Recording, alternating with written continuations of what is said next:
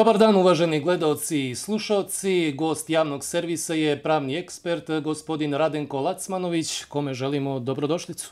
Dobar dan vama gospodine Vešoviću i pozdrav svima koji nas prate posredstvom jednog od tri medija javnog servisa. Današnji link e, započet ćemo pitanjima o biračkom spisku, što treba da bude i centralna tema našeg razgovora. Dakle, spominje se moguće kontrolno saslušanje ministra unutrašnjih poslova pred matičnim skupštinskim odborom, jer su su javnosti čuli navodi da su neka neovlašćena lica došlo u posjed biračkog spiska. O čemu je tu riječ i ko po zakonu može da ima uvid u taj dokument? Čuo sam najavu predsjednika odbora za odbranu i bezbjednost gospodina Kneževića će zatražiti kontrolno saslušanje ministra unutrašnjih poslova ovim povodom. Doduše, gospodin Knežević nije govorio o tome koja su to lica došla kako se on izrazio, u posjed centralnog biračkog spiska. Da li je to bilo samo na dan izbora, kada još se nisu znali rezultati, pa se pokušavalo moguće eventualno neki loši rezultat time pravdati ili ne, da li će gospodin Knežević od toga odustati ili ne, ostaje da se vidi. No, ja se ne bih bavio nagađanjima, nego konkretno odgovorio na, vaša, eh, na vaše pitanje.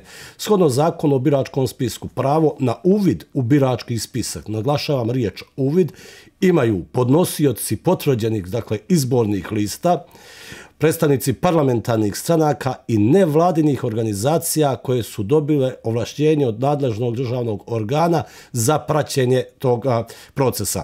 Pravo na uvid u birački spisak imaju dakle ovi subjekti u vrijeme od raspisivanja izbora do proglašenja konačnih rezultata dakle tih izbora. Izuze parlamentarnih stranaka koje pravo na uvid imaju i u vrijeme koje nije obuhvaćeno izbornom kampanjom. Ono što je također jako važno da se zna da oni koji imaju pravo na uvid, prije, prije svega se misli na elektronsku formu, dakle, posledom kompjuterske veze, mora da ostane a, trag o tome kad je, ko, po kom pravnom osnovu, u kojem obimu ulazio u, u, u bazu ili zbirku ličnih podataka koja se zove birački spisak, da e, a, svi koji su ovlašćeni subjekti, dakle, da ih sada ne ponavljam opet, e, a već sam ih pomenuo, moraju da imaju određena tri lica, dakle samo tri lica najviše koja moraju biti nadležno ministarstvu koje vodi birački spisak poznata i da ova, imaju uvlašćenje da ulaze niko od, od, osim njih ne može ući u birački spisak, znači to bi značilo neovlašćen pristup i obradu ličnih podataka. Da li je toga bilo ili ne, ostaje da se vidi. Ja mogu da prepostavim da takvih slučajeva ima, nadam se sve manje. Ono što smo uspjeli 2017. godine izmjenama zakona o biračkom spisku je da se više ne može dostavljati birački spisak, dostavljati kopija biračkog spiska. To je nezakonito jer smo imali strašne zloupotrebe u tom pogledu iz prostog razloga što su mnogi vodili takozvanu kampanju Siguran glas, pa su davali svojim aktivistima na terenu biračke spiskove sa svim našim ličnim podacima od imena, prezimena, matičnog broja adrese, pa do biračkog mjesta gdje glasamo. Dakle, davali su koji su nosili od kafane do ulice sve te naše lične podatke i zaokruživali Siguran glas onoga koga su oni smacali i onda nosili u centrale, u centrale stranaka da bi na taj način vodili, vodili evidenciju. Sada je to zakonom onemogućeno, a da li to neko radi ili ne, to u svakom slučaju ostaje na nadležnim organima da procijene, ali ako tako nečega ima, to je zloupotreba, odnosno kršenje, kršenje odredaba zakona o biračkom spisku. Vi ste i prethodnih godina govorili da svim zainteresovanim stranama treba omogućiti uvid u birački spisak, ali da ga ne treba dostavljati učesnicima izbora kao ni onima koji taj proces nadgledaju. Evo, spomenuli ste i moguće zloupotrebe. Pa da li se na osnovu toga može zaključiti da su potrebne nove izmjene zakona o biračkom spisku? Nažalost, radna grupa koja je tada radila na izmjenama zakona o biračkom spisku, a posjetit ću da dobar dio tadašnje opozicije nije učestvovao u radnoj grupi, da su u to vrijeme i bojkotovali rad parlamenta je ponašala se prema predlogu čiji sam sam autora i za kojeg je stao tada savjet agencije za zaštitu ličnih podataka i slobodan pristup informacijama, odnijela se dakle kao prema švedskom stolu. Uzeli su ono što im je odgovaralo, a ono što u tom trenutku su smacali eh, da im ne ide na ruku, su ostavili po strani pod izgovorima da nema sestava i nema vremena do prvih narednih izbora koji su trebali da budu održani. Bilo obećanje da će to biti nakon tih izbora urađeno, nije to urađeno također. Treba da kažem da mogla i ova parlamentarna većina nakon 30. augusta a, taj zakon izmijeniti, jer za njega, za razliku od zakona o izboru odbornika i poslanika, nije potrebna dvocećinska većina, već većina ukupnog broja poslanika, dakle 41, što su oni imali. Ono što je jako važno da ovde kažem, jeste da je potrebno omogućiti a pogotovo evo pričamo sad o parlamentarnim strankama u vrijeme kad nisu izbori. A ovim subjektima, dakle podnosiocima potvrđenih izbornih lista i nevladnim organizacijama u vrijeme izborne kampanje.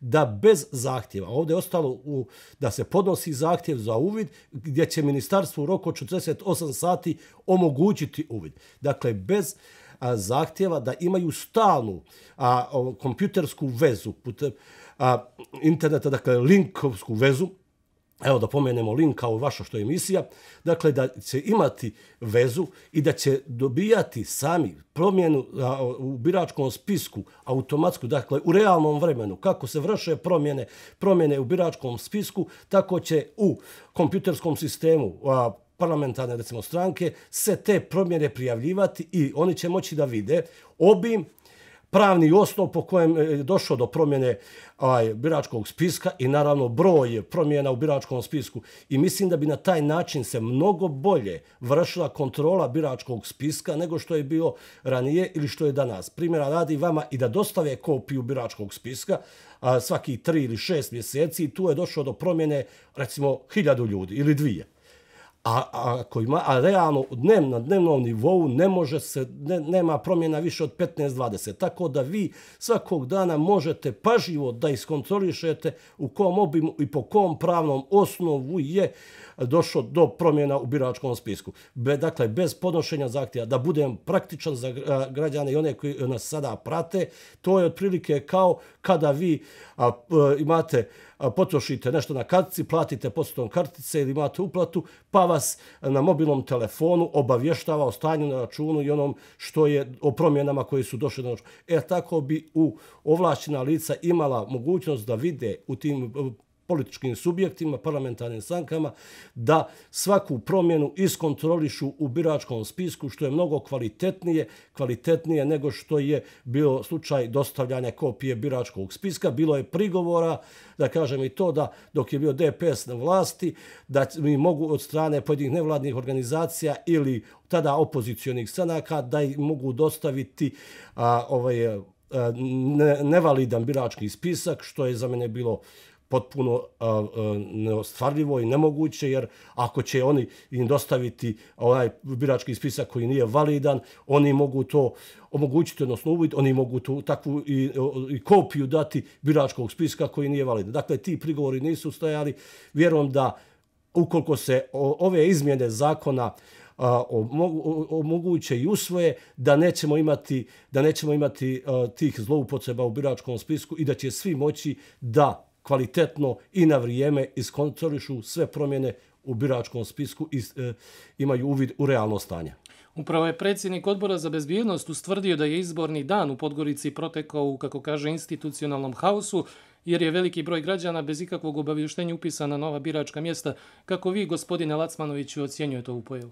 Pa to je zloupotreba zakona. Dakle, tačo se u zakonu, čak i o izboru odbornika i poslanika, a, a, govori koji su uslovi za promjene. A, i, a imamo i u zakonu o biračkom spisku također, sada ne citiram članove, koji su uslovi za promjenu, za promjenu biračkom spisku. Dakle, ukoliko nije doš, nisu ispunjeni uslovi za promjenu u biračkom spisku, dakle, a promjena između ostalog i mjesto na kome se glasa, a da bi promijenili mjesto na kome se glasa, morate a, ovaj prije svega promijeniti adresu, mjesto stanovanja. Dakle, ukoliko ti uslovi nisu ovaj e, ispunjeni, to je u pitanju zloupotreba. E moguće da ima i uslova kada dolazi do a primjer radi osnivanja novog biračkog mjesta zbog eh, prekobrojnosti ili manjeg broja birača da bi eh, nego što je potrebno da bi eh, tu bio biračko mjesto. To su slučajevi kada ali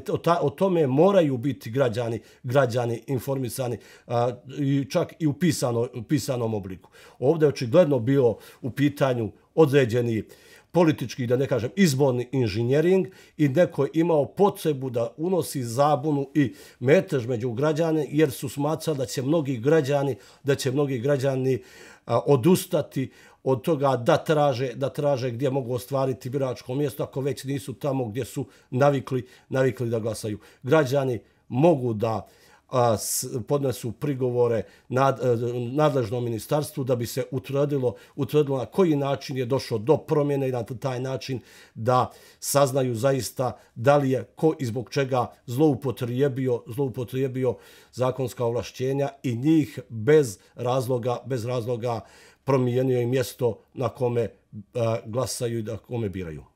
Imamo i primjer Šavnika, tamo su tokom izbornog dana iskrsli određeni incidenti zato što članovi pojedinih biračkih odbora nijesu dozvolili glasanje osobama koje su uoči izbora upisan u birački spisak za Šavnik. Dakle, da li je to dozvoljeno? Kako to komentarišete? Može li se ovo nazvati izbornim inženjeringom? Pa, mnogi su ga tako ocijenili. Ja bih prvo rekao da nije dozvoljeno da e, članovi biračkog odbora sprečavaju građane da ostvare svoje pravo da a, biraju. A, da li je neko zloupotrijebio? Očigledno da jeste. Ali nije e, na članu biračkog odbora zato što kaže ne poznajem ga, ne živi u šavniku, da on određuje i da on presuđuje ko ima pravo da, da bira na određenom biračkom mjestu. Dakle, da glasa ono što je ovdje se desila zloupotreba nakon odluke Ustavnog suda koji je, kojim je poništena odredba gdje se tražio takozvani rezidencijalni uslov kada su u pitanju lokalni izbori. A u članu 11 zakona o izboru odbornika i poslanika je propisano da pravo glasa u Crnoj Gori ima dakle na za poslanika e, ili na za predsjednika dakle parlamentarnim izborima imaju oni koji imaju državljanstvo imaju prebivalište najmanje dvije godine u Crnoj Gori za izbor odbornika imaju pravo, dakle oni koji imaju državljanstvo i koji imaju prebivalište na teritoriji na kojoj se održavaju izbore. Dakle, nema ovog rezidencijalnog uslova i, i zbog toga dolazi dolazi do zloupotreba. Ja sam, i to će mi biti interesantno kako će a, nadležno tužilaštvo reagovati, mislim baš na javnom servisu pratio analizu o, izbora na Cetinju, gdje smo imali da se recimo na mjesec dana ili čak i manje, 15 dana, dakle ne može ispod 15 dana, ali u roku, dakle 15 dana ili 20 prije održavanja izbora na Cetinju došlo do velikog broja, kao i u Šavniku, ne možda tolikog, ali velikog broja prijavljenih da bi glasali na Cetinju, a odmah 15-20 dana nakon održavanja izbora imali smo veliki broj ljudi koji su se odjavili sa Cetinja ovaj, po završetku izbora. To je dovoljan signal, dovoljan a, ajde da kažem, argument ili dovoljan povod, barem za osnovu, osnov sumnje, ako ne osnovanu sumnju, da bi tužilaštvo trebalo ove zloupotrebe da preispita. Rješenje je, gospodine Vešoviću, očigledno u tome da se lokalni izbori održavaju u jednom danu kako ne bi imali, kako ne bi imali ovakve zloupotrebe i kako bi ljudi mogli da glasaju samo na jednom mjestu, a ne da imamo slučajeve da neko je recimo glasao u martu u Nikšiću, a u oktobru glasao u Šavniku.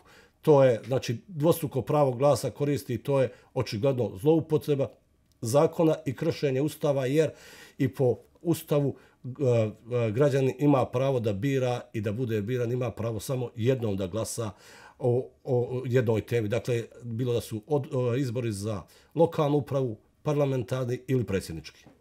Mnoge nevladine organizacije ukazivale su i na problem takozvanih fantomskih birača, odnosno ljudi koji decijanijima žive u inostranstvu i glasaju u drugim državama, ali i dalje imaju pravo glasa i u Crnoj Gori.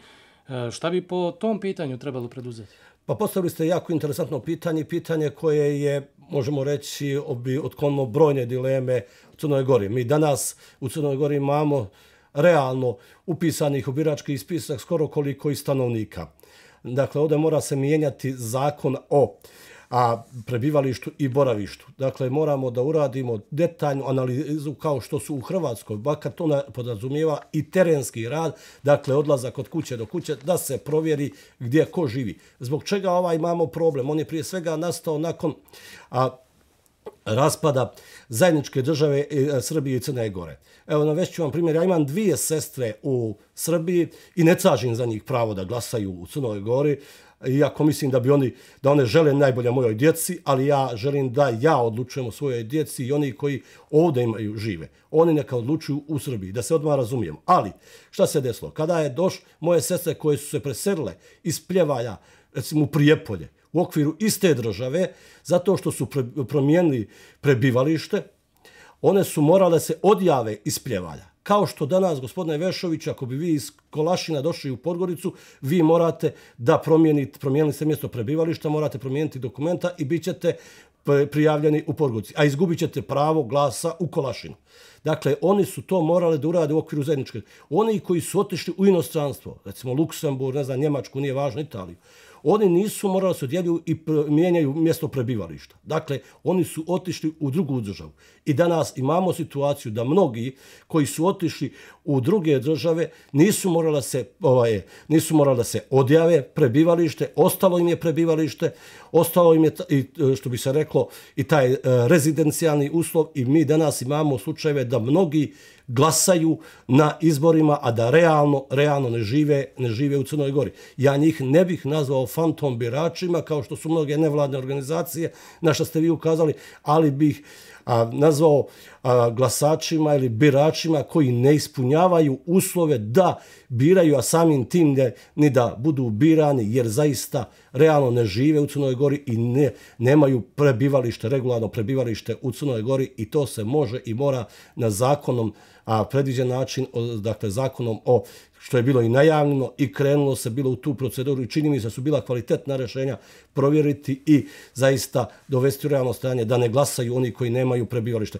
Ovde se nije radilo ni o kakvom oduzimanju bilo kakvih prava, ovaj, bilo kome, već je, e, e, ono što je normalno i jedino ispravno da glasaju oni i da o sudbini građana Crne Gore i Crne, i Crne Gore kao državi odlučuju oni koji tu žive i rade i vezali su svoju sudbinu i svoje porodice za Crnu Goru.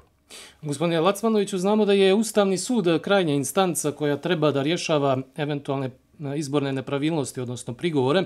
Neke ustavne žalbe su već podnešene, ali njih nema ko da razmatra jer je Ustavni sud, kao što znamo, u blokadi. Iz državne izborne komisije kažu da se zbog toga, recimo, u opštini Plav ne mogu proglasiti konačni rezultati izbora. Da li to, po vašem mišljenju, stvara pravnu nesigurnost i da li ovo znači da lokalna vlast neće moći da se konstituiše? Ovo naravno stvara pravnu nesigurnost ne samo u pogledu i na polju izborne tematike, nego i u mnogim drugim situacijama gdje bi građani podnosili ustavne žalbe ili predloge za ocjenu ustavnosti pojedinih akata. Ono što je jako interesantno ovdje da imamo a, slučajeve, ovdje bih rekao opet zloupotrebe, opet zloupotrebe moguće prava, dakle pravo svako je za dobro građana, a njegova zloupotreba je sasvim druga priča i zloupotrebu treba očigledno spriječiti. A naveću samo jedan primjer, evo jutro sam baš pogledao dok sam se spremao za ovu emisiju, da imamo u Podgorici, da je jednoj opštinskoj, ovaj, da je opštinskoj izbornoj komisiji a, jedna stranka podnijela skoro više prigovora nego što je dobila glasova prosto da čovjek ne vjeruje, ali dakle procedura je jasna. Mi imamo sad ovdje očigledno da će biti problem sa proglašenjem konačnih rezultata u plavu. Da li nadležnost, nadležnost Ustavnog suda može neko drugi a preuzeti? Evo, danas sam pročito uvažene koleginice Ines Mradović ovaj, jednu zanimljivu ideju da bi mogao se o tome odlučivati sud za ljudska prava u Strasburu. Ne znam koliko je to pravno izvodljivo e, i koliko bi se danas sud za ljudska prava u Strasburu bavi ovim pitanjem zbog toga što mi nemamo ustavni sud. Očigledno ovdje imamo problem kako ga riješiti, da li može Skupština ili neko drugi preuzeti tu nadležnost i ovaj, jednostavno proglasiti te rezultate, a ukoliko bi Ustavni sud naknadno kada se formira, kada se formira, dakle, ukoliko bi ovaj, on proglasio ovaj, e, rezultate nevalidnim, dakle, drugačijim, onda bi se to u pravu reklo da se postupak vraća u pređašnje stanje.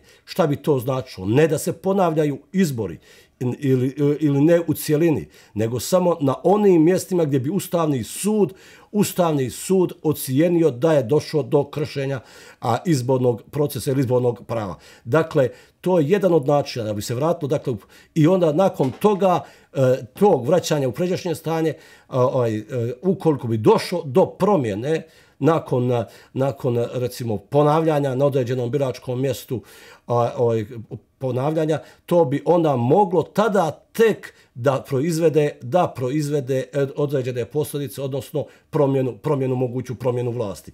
Dakle, ali samo po sebi to ne znači da bi, da bi imali tu problem, jer bi vratili u pređašnje stanje i moguće samo ispravili greške na koje je ukazao ili koje je našao Ustavni sud u svojoj odluci. Da ima zloupotreba, to, to zaista ima, jer imamo sad situaciju ovaj da mnogi dakle podnose te žalbe odnosno o, i prigovore, ali evo čini mi se da možda će se zaustaviti nakon odluka opštinske izborne komisije imamo državnu izbornu komisiju tek na rešenje državne izborne komisije mogu se podnositi podnositi usta, ovaj prigo, odnosno prigovori ili žalbe ustavnom sudu. Naravno, najbolji izlaz iz ove situacije izbor sudija Ustavnog suda u Skupštini za sada naravno nema političkog e, dogovora oko toga, pošto imamo još svega 3-4 minuta do kraja, e, da navedemo jedan interesantan slučaj koji se tiče sveštenika Mitropolije Crnogorsko-Primorske, kome nije dozvoljeno da glasa u mantiji. On tvrdi da je diskriminisan. Pa naravno, je li njegovo biračko pravo na taj način ugroženo? Pa naravno da jeste, to je došlo ajde, bit ću blag, do, da ne kažem do zloupotrebe ovlašćenja članova biračkog odbora ili predsjednika, nego da kažem pogrešnog tumačenja. Zaista u zakonu o izboru odbornika i poslanika kaže se da uniformisanim licima nije dozvoljeno pristup na pristup biračkom mjestu, izuzev dakle u nekim odrađenim ekstremnim slučajima u, u, u mora policija intervenisati. Pod tim uniformisanim licima čini mi se da je to dobro i tumačio predsjednik opštinske izborne komisije u Podgorici se podrazumijevaju, dakle oni koji stvarno su uniformisani, koji profesionalno obavljaju svoj posao. To je prije svega policija i vojska. Mantija nije ona uniforma koja se podrazumijeva u zakonu i koja bi bila koja bi bila razlog da se nekome ne dozvoli ne dozvoli pristup pristup biračkom mjestu dakle ovdje na svešteniku Brankoviću povrlo ljudskog da slobodno i to mu uvrijeđeno ali a, da vjerujemo da je u pitanju pogrešno tumakona, a se potrebe od zakona ili ono ne mogu da glasa. Za kraj jedno pitanje koje se tiče rodne ravnopravnosti. Znamo da su opštinske komisije 13 izbora zbog nedovolja žena na tim listama, ipak e, k njim je dozvoljeno da učestvuju na izborima. Kako to komentariš? Dakle, ti voljeno da uko nisu spravljene a, nađene nepravilnosti, dakle, znači da onaj koji im je dozvolio također je prekršio zakon. Zakon je ovdje mora jati najmanje trećina manje zastupljenog pola i ja vjerujem da je zakon nije potreban da bi to se ispunilo, da a, a, naše drage dame zaslužuju mnogo više od treće e, na izbornim listama i da, a, da je sreće ne bi nam trebala zakonska rešenja da, da ovaj, one budu i takako zastupljene ne samo na listama nego na odgovarajućim mjestima u državi. Gospodine Lacmanoviću, hvala vam na gostovanju.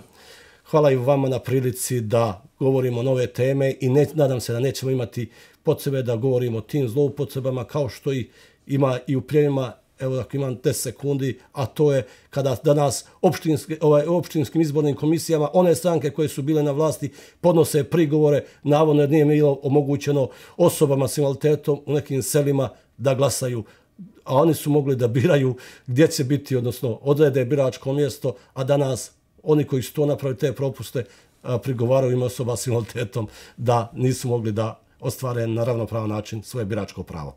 Hvala vam još jednom uvaženi gledoci i slušalci. Gost Linka bio je pravni ekspert Radenko Lacmanović. Srdačan pozdrav i ostanite uz kanale javnog servisa.